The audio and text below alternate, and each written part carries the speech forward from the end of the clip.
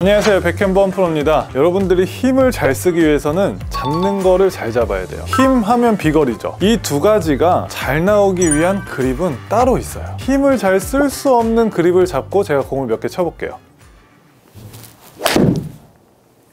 방금 공은 88마일에 120m 자,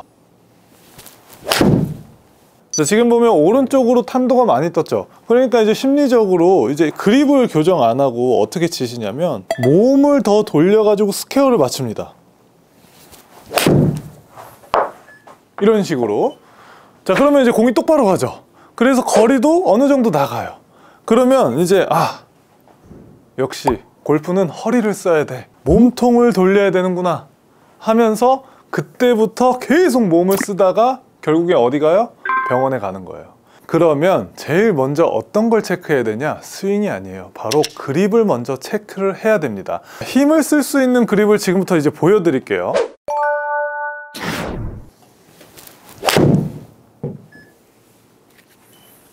지금 클럽 스피드가 좀 전과 조금 한 2마일 정도 더 올랐는데 비거리 차이는 40m까지 차이 납니다. 1마일에 보통 2m 정도 차이가 있거든요. 여러분들은 지금 2마일 정도 올라왔는데 40m가 더 높이 가는 거를 보시고 계신 거예요. 엄청나죠? 방금 힘을 쓸 수 없던 그립을 제가 먼저 보여드릴게요. 왼손 그립을 먼저 보면 지금 손등이 잘 안 보일 거예요. 그리고 왼손 엄지가 글씨와 똑바로 일자로 잡아 있는 그립을 잡습니다. 이 그립을 weak 그립이라고 하는데 왼손 그립을 이렇게 잡는 순간 손목의 움직임이 둔해져요. 한마디로 손목을 잘 쓸 수가 없다 이거죠. 여기서 오른손을 잡아 보니까 많이 덮이는 분들이 있을 거고요 혹은 이렇게 엄지를 똑바로 두시는 분들이 있을 거예요. 이제 오른손이 덮여 있는 상태에서 백스윙이 시작이 되면 헤드 face가 잘 열리면서 백스윙이 됩니다. 똑바로 갈 수가 없어요. 왜냐면 한쪽이 기울기가 처지면서 왼쪽 어깨에 힘이 많이 들어올 거예요. 스웨이도 같이 나오고요. 그러니까 이렇게 올라가는 게 편한 거예요 어떻게 돼 있죠? 꺾여 있죠 왼손 등이. 그 상태에서 쭉 내려와서 공을 치니까 지금과 같은 오른쪽으로 높게 뜨는 볼이 형성되는 겁니다. 그러면 힘을 잘 쓸 수 있는 그립은 어떤 거냐면 왼손 등이 살짝 보여야 된다. 자 그리고 그립을 잡으실 때는 이렇게 잡는 게 아니에요. 세 손가락이 말아 잡듯이 잡혀야 되고요.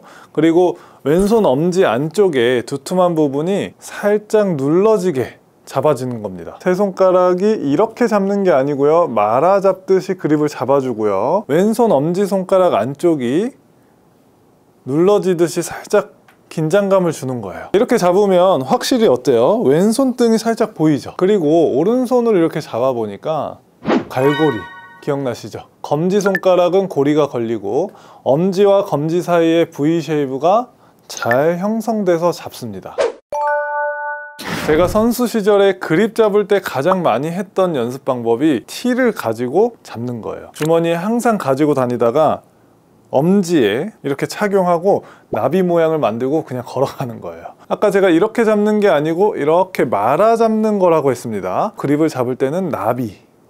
그러니까 이 모양을 계속 만들고 다녔던 거예요. 이러고 그냥 걸어가는 거예요. 이렇게 걸어 다니는 거예요 이렇게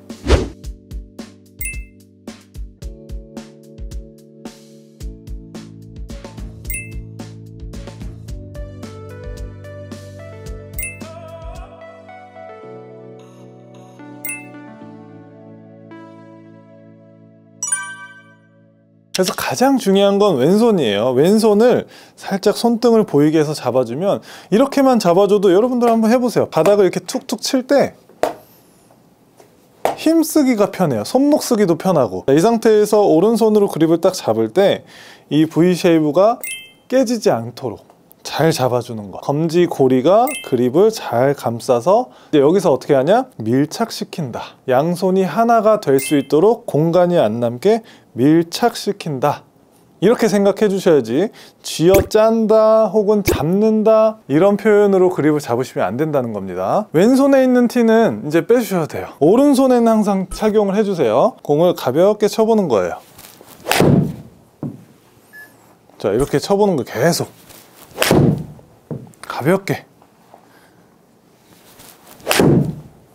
자 이렇게 쳤을 때 그 하다 했던 손목이 잘 풀리는 느낌이 난다 그것만으로도 여러분들은 아까 봤죠? 비거리. 스피드에 맞는 비거리 효율적인 비거리가 나올 거예요. 자 제가 이제 이렇게 그립을 잡은 상태에서 백스윙을 한번 해볼게요. 쭉 백스윙을 해보니까 어때요?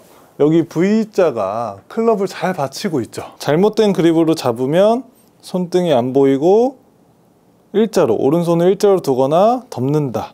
그러면 잘 가다가 자꾸 돌아가는 거예요. 돌아가면서 헤드가 못 올라가게 엄지가 딱 막죠. 그럼 어떻게 해요? 더 돌리는 거예요. 혹은 손을 여기서부터 드는 거예요. 그리고 팔도 피고. 자 이렇게 자꾸 공을 치게 되는 거죠. 다 연관이 있는 거예요.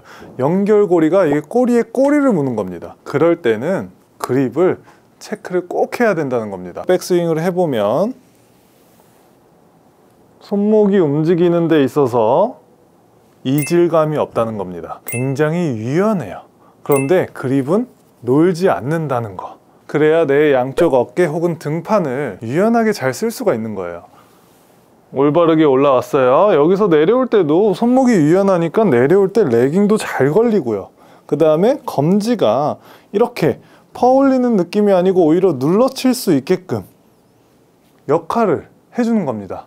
아주 중요한 열쇠가 되는 거죠. 스윙을 먼저 익히기 전에 힘을 잘 쓰려면 오늘부터 티 두 개를 왼손에 오른손의 엄지에 찝어주세요. 그리고 나비를 만들어요. 말아 잡듯이 딱 잡아주고 나비, 고리. 하나, 둘. 이렇게 움직이는 거죠 그립도 한번 잡아보고 꼭 이 티가 없어도 돼요. 휴지를 꽂든 아무것도 없어도 되니까 모양을 만들어 보는 겁니다